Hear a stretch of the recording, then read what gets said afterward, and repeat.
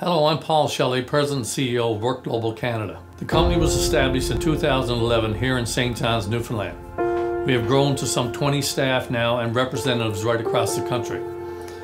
Back in 2007, as a former Minister of Immigration, I saw the need and the vision, frankly, for what would be needed here in Newfoundland Labrador as far as immigration services. We established this company with that sole intent. We believe that the need has never been greater. Right now, we are working collaboratively with the federal and provincial government on policy changes and also ways to expedite the process for the betterment of the province.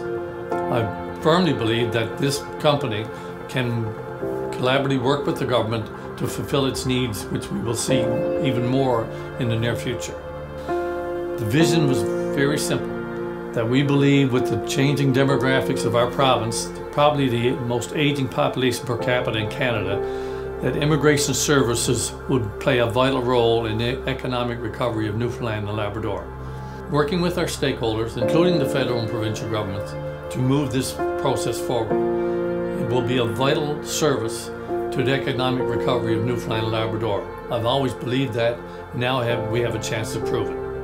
I look forward to working with all stakeholders as we move forward with this very critical role.